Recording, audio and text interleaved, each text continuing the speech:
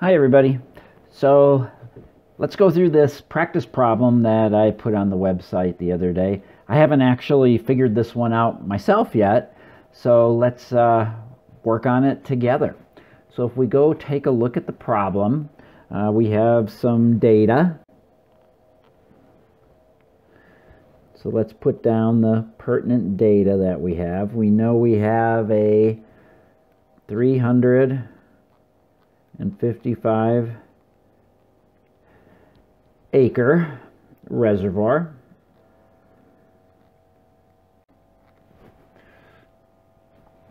We know we have a much larger watershed, 7,800 acres.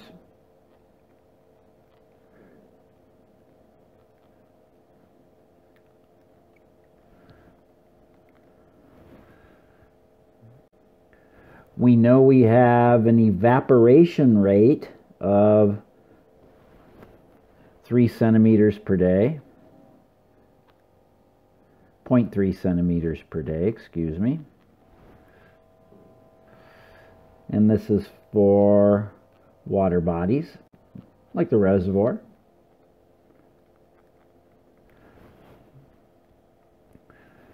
We also know that we're going to get 103 centimeters of precipitation both on the lake and in the watershed. And we also know that in the watershed, 40% or 0.4 of the precip actually runs off.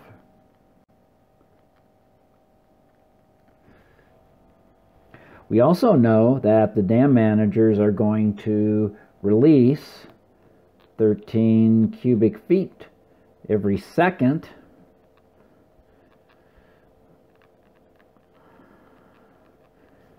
And they're going to release that to an outlet that goes downstream to serve people with senior water rights.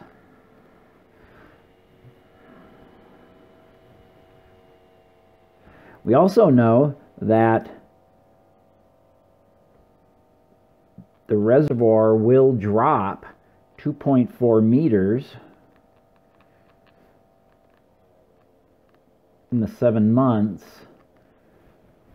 that the dam managers collected data. Okay, so those are the sort of pertinent facts that we have.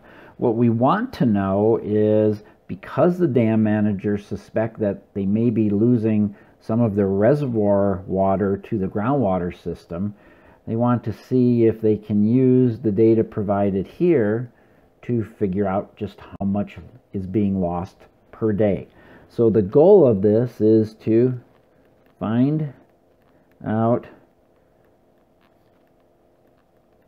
how much reservoir water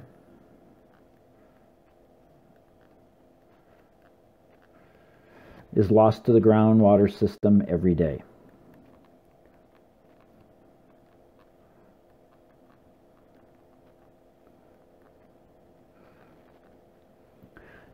Now to do this, easiest way to do these sorts of problems are to apply the hydrologic equation, which is input minus output equals a change in storage. Now in this case, the storage we're talking about is the reservoir. We have inputs to the reservoir, we have rain on the reservoir, we have runoff into the reservoir, we have outputs from the reservoir, we have evaporation off the surface, we have water that's being released downstream, and it seems that we have some groundwater that's being lost as well. We also know the change in storage. We know this 355 acre reservoir dropped 2.4 meters over seven months. So we have enough data to figure out how much water is being lost to the groundwater system. So let's go on to the next slide here. And we'll start with the hydrologic equation.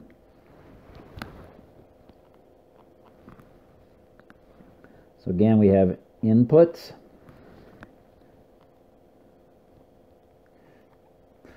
minus outputs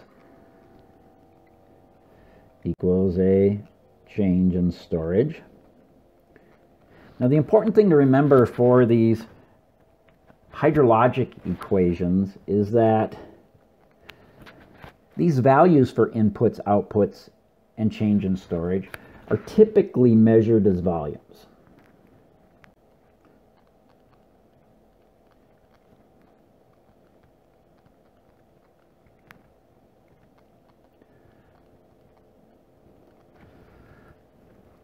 And the volumes you're most likely to see in terms of units are either acre feet, which is the most common one we'll use.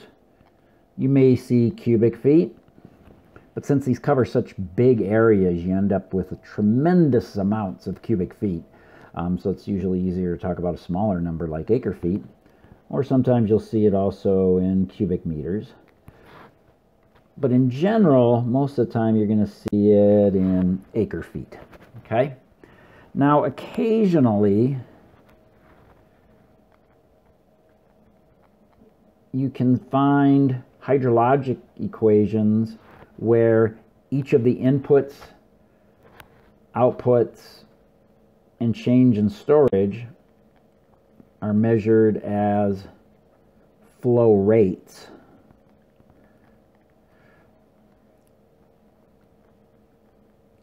Such as cubic feet per second or cubic meters per second, but that's pretty rare.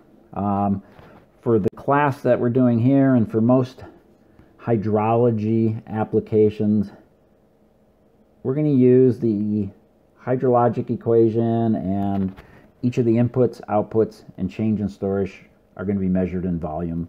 And most of the time, those volumes will be measured in acre feet. Okay? So just as an aside. The other thing that you should remember about volumes is that in hydrology, we can calculate volumes a couple of different ways depending on what data we are given. For most of the applications we will use, a volume is going to be calculated as an area times a depth. Areas are typically measured in square feet or acres. Depths are typically measured in feet. So your volumes will either be measured in cubic feet or more likely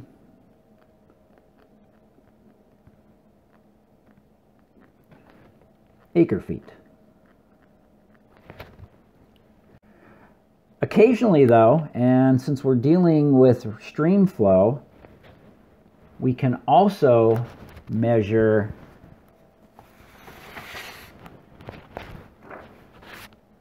volumes by using flow rates, where the volume is going to equal the volumetric flow rate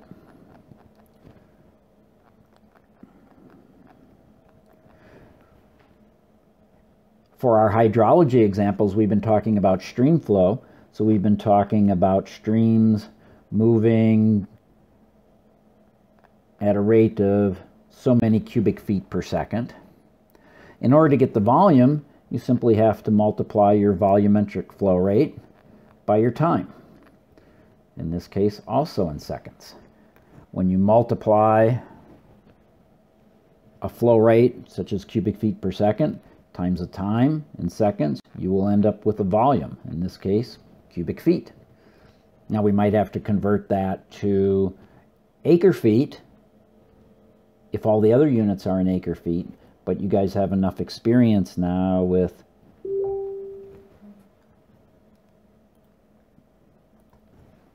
units to be able to do that. Okay, so let's identify our inputs and put some simple numbers on them. Okay, again, we're going to try to do volumes for each.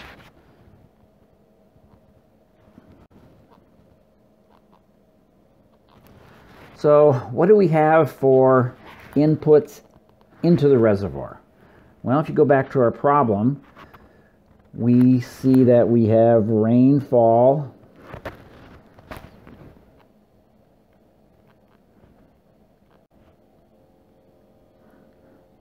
on the reservoir.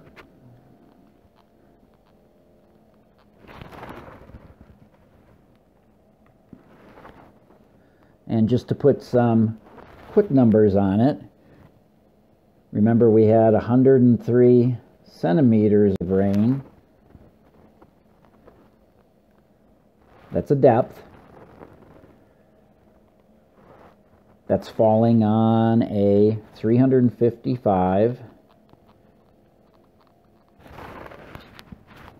acre reservoir. Now that's not the unit that we ultimately want, but it's a starting point. Gives us something to think about and something to convert a little later. We also have some runoff into the reservoir. We know that a 103 centimeters of rain fell on the reservoir, but only 40% actually runs off. So we have to multiply that 103 by a fraction, 0.4. And we know the rainfall depth, 103 times 0.4, is going to land on that entire 7,800 acre reservoir. So again, not the units we're looking for, but we'll convert those in a minute. We also have some outputs, don't we? That we also want to measure as volumes. We have evaporation off the reservoir itself. We know that we have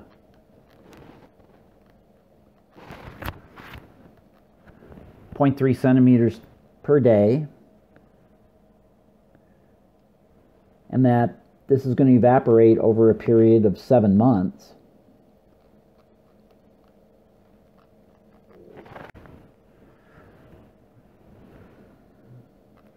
which we'll have to convert to days, but we can get to that. So that's a depth. And then to get a volume, we have to multiply by the area, and the area of our reservoir is 355 acres. So we're starting to put down the information that we need to quantify this. We also know that the dam managers are letting water out. So we have some outflow.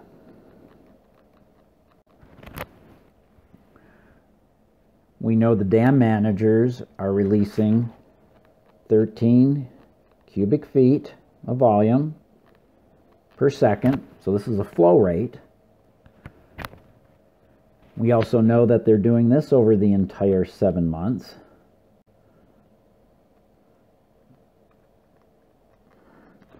And remember, when you multiply a flow rate by a time, you get a volume. So we're going to get a volume out of this.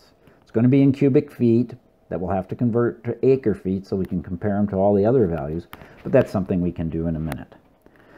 Finally, we have one more outflow, and this is the big question. Okay, this is the one we don't know. So we know we're losing water to groundwater. So lost to groundwater is what we're ultimately going to look for. So we have our inputs well defined. We have two of our three outputs defined. One thing we also have is we can calculate a change in storage. We know that we have a drop in the reservoir level.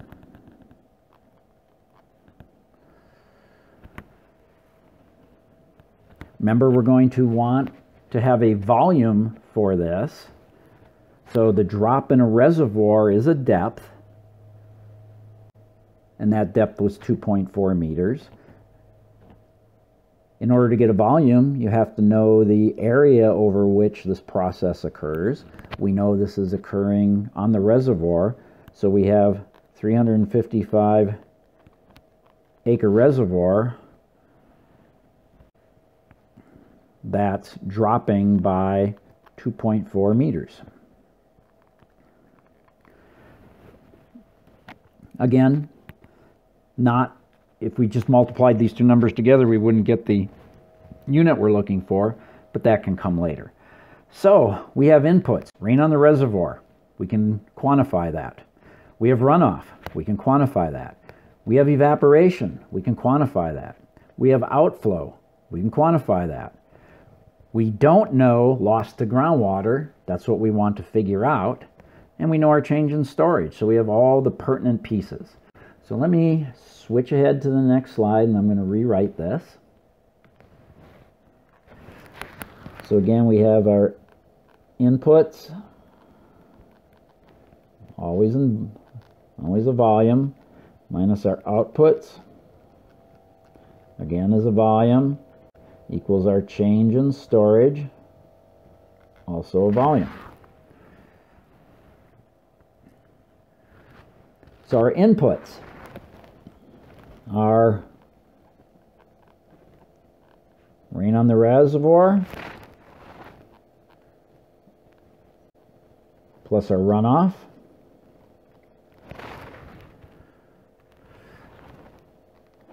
minus our outputs, which are evaporation, outflow, and the one we're looking for, groundwater.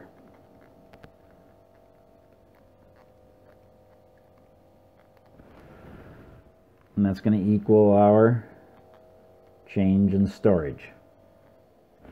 Okay, so there's our setup. We can quantify everything but groundwater. So if we rearrange this equation, add groundwater to both sides of the equation, subtract change in storage from both sides of the equation, we end up with rain plus runoff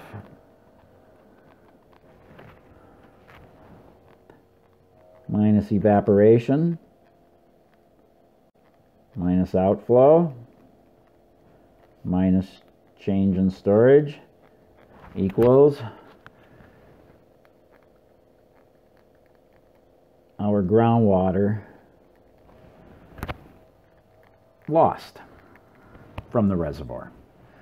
All right, so now that this is all set up, and some of you I realize could probably figure this out in your head, but if you're having a hard time following the big picture, then using this hydrologic equation can be really helpful in envisioning the processes involved. Okay, so let's quantify this now and do our calculations. So let's start with rain on the reservoir.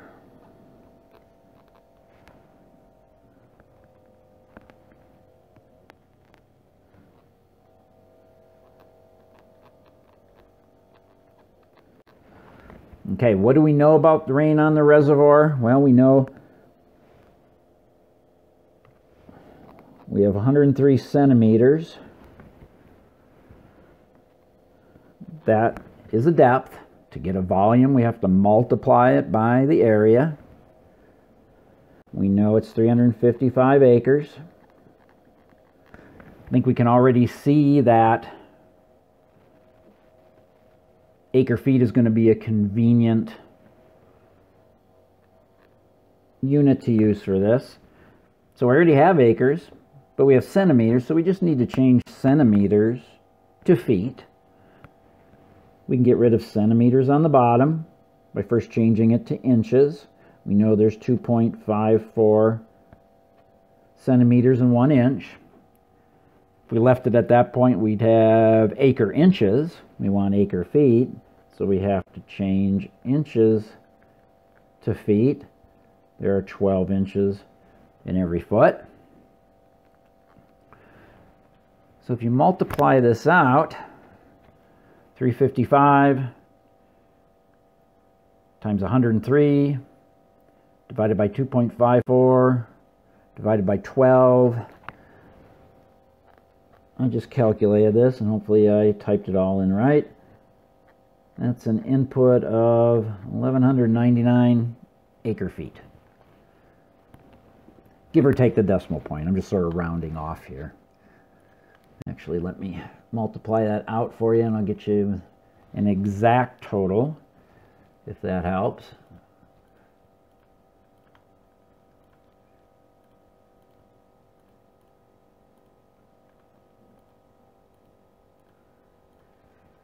Eleven ninety nine point six three.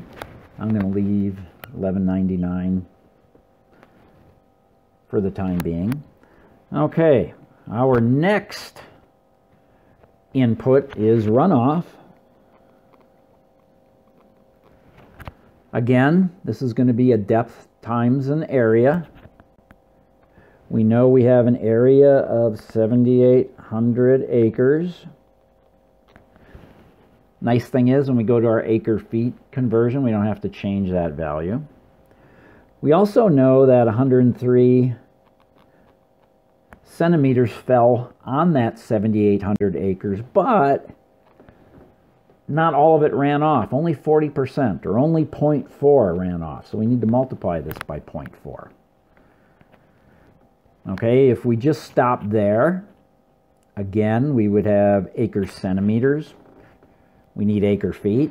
So let's do a conversion. We know there are 2.54 centimeters in one inch. And we know there are 12 inches in one foot. Let's multiply this all out. So we have 7,800 times 103 times 0.4. And then we divide it by 2.54. Divide by 12 and we get 10,543 acre feet. And I'm cutting the decimal off just for simplicity. You can keep the decimal point on if you desire. Okay, next part. We have some evaporation. Now the evaporation is coming off of the small 355 acre watershed. Again, this is going to be a volume, so we have to have an area, 355 acres, times a depth. We know that we have an evaporation rate of 0.3 centimeters per day off water bodies. Remember, we're looking for a volume. We have an area in acres. Now we need a depth. What I have instead is 0.03 centimeters per day. That's a rate. In order to change a rate into either a volume or a depth, we just have to multiply by the time. We know that we had 0.3 centimeters of water evaporating off the surface of the reservoir every day. And we know that happened for 270 days. So now we're going to get rid of our days and we will be left with centimeters. So just like the previous problem, we now have acre centimeters. We want acre feet. So let's get rid of centimeters. 2.54 centimeters per one inch. And then we want also to get rid of inches. 12 inches in one foot. So again, let's multiply this out. I'm going to do the same time you guys are doing it. So let's do 355 times 0.3 times the 270 days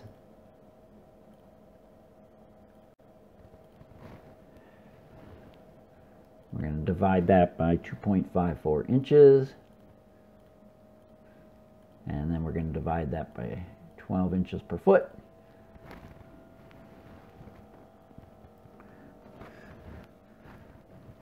And I want to make sure I did this right, so I'm going to do it twice just to make sure I get my value right.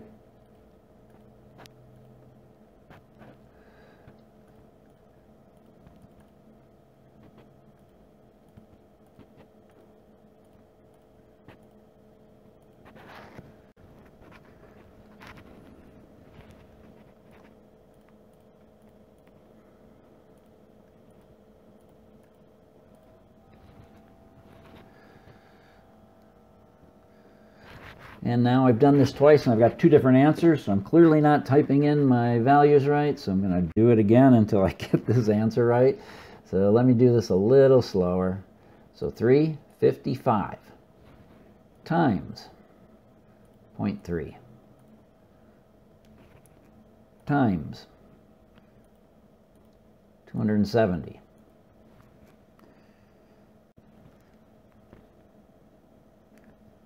divided by 2.54 divided by 12.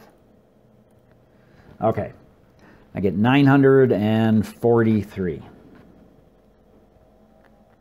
acre feet. So the units cancel out here, and you have acres times feet.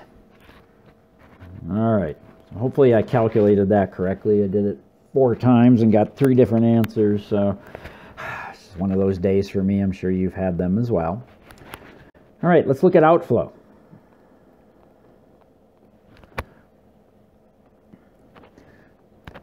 Okay, we know that the dam managers are releasing 13 cubic feet per second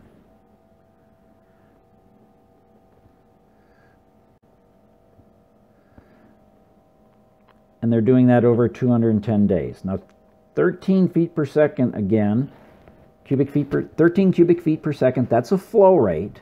If you remember back, the way you get a volume from a flow rate is to take the flow rate and multiply it by the time. Now we have different units for time, so we're going to have to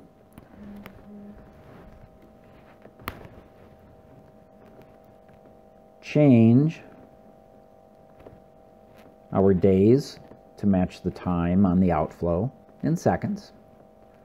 We could do it the other way too. I guess we could change seconds to days and have them cancel out. Either way, it's going to work just fine.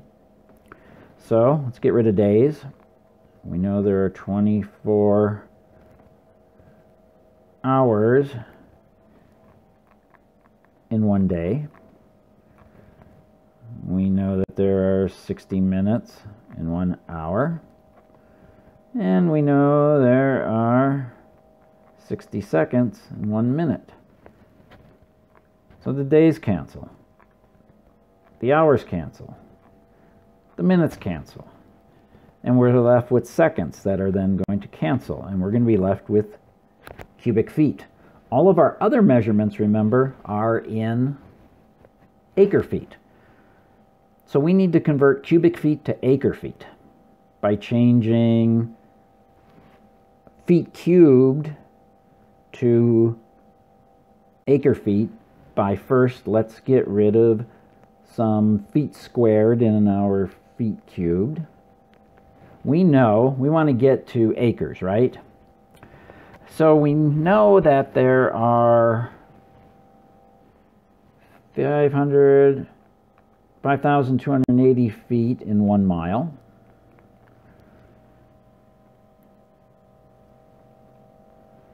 And we also know that there are 640 acres per mile squared.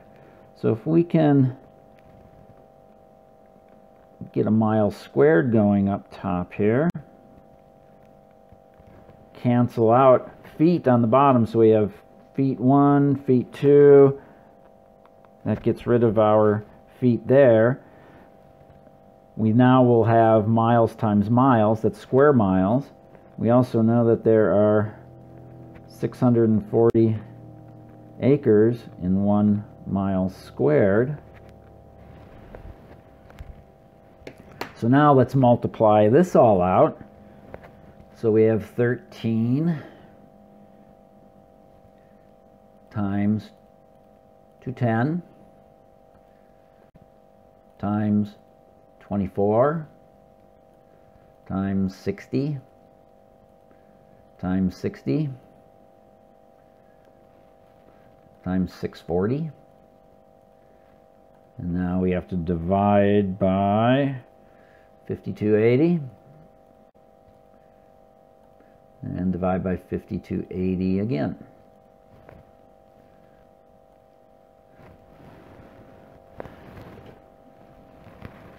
I'm running out of room here, but I'll put it right next. I ended up with 5,414.8 acre feet.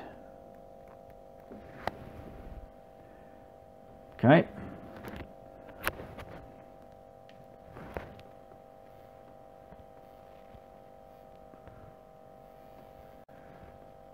Hopefully you're able to follow that.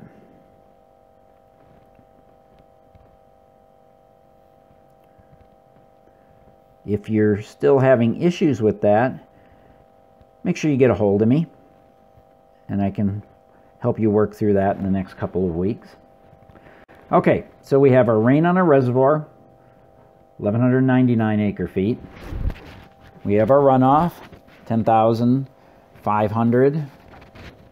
10,543 acre feet.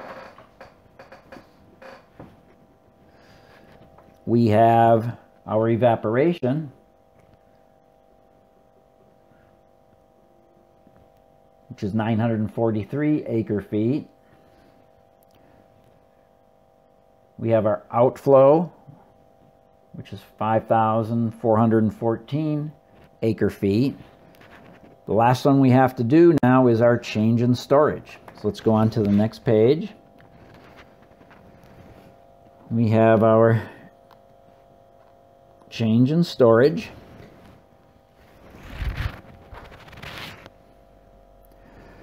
We have 355 acres again.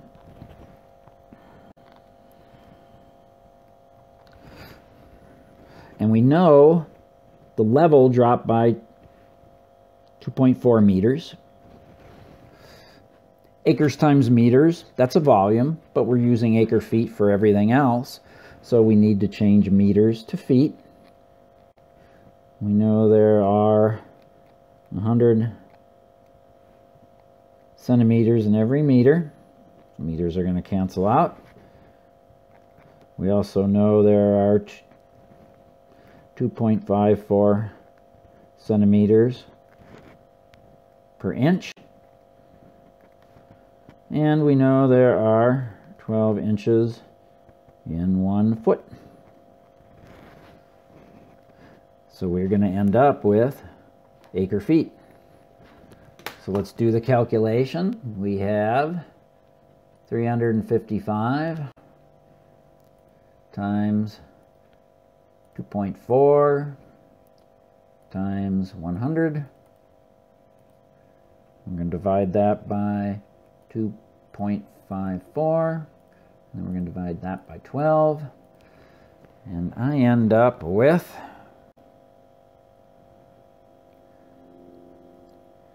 a change in storage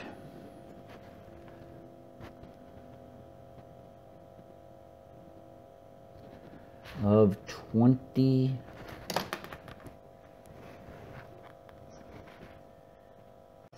795 let me check my math one more time. Always good to double check it. I'm certainly going to do it. So let's try this again. 355 times the 2.4 meters times our 100 centimeters.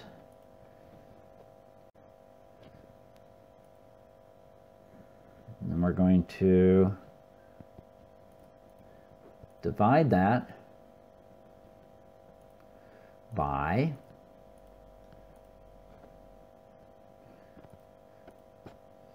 two point five four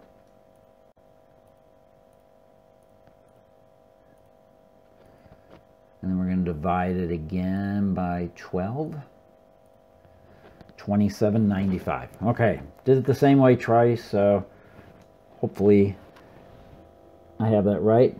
And again, that's in acre feet. So, let's go back to our hydrologic equation. Input minus output equals change in storage. Remember earlier we rearranged it so that we have rainfall plus runoff minus evaporation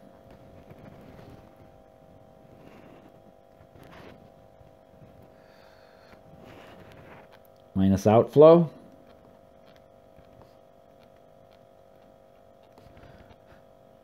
minus your change in storage is going to equal your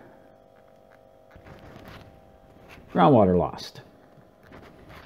So let's put in our numbers. For rainfall, we had 1,199 acre feet. For runoff, we had 10,543 acre feet.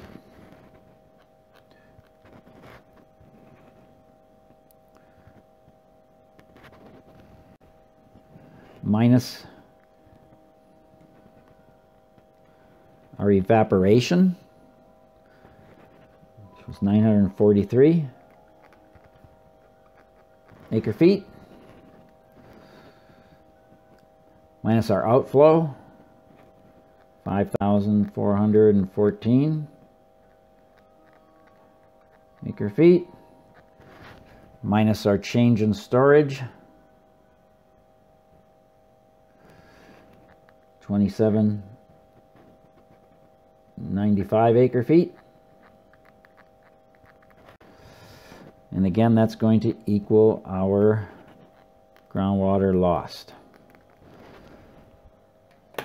So let's do the math. I'll try this a couple times, make sure it's right. So we have 1199. 1099, excuse me. No, it's 1199. Might hope if I did this right. Okay, 1199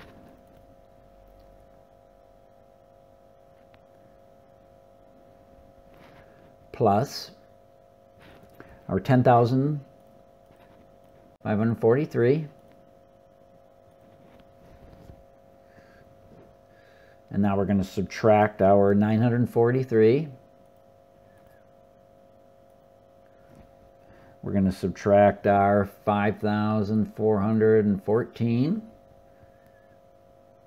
And we're going to subtract our 2795 believe all those are numbers. When I did all that, I ended up with 2,590 acre feet. That was lost to groundwater. Now remember that was in 270 days. And I asked you, I think at the beginning, figure out the volume of water in acre feet that is being lost from the reservoir to the groundwater system per day. So if we have 2,590 acre feet lost to groundwater in 270 days, we simply divide 2795 by 270 days. Let's do that here. 2590 acre feet. 5 by 270 days equals, let's do the math, divided by 270, about 9.59 acre feet per day lost to groundwater. So that would be the final answer. Now the dam managers know how much water is being lost to groundwater every day, about 10 acre feet. And they can come up with better estimates on how water is going to behave in their system with time.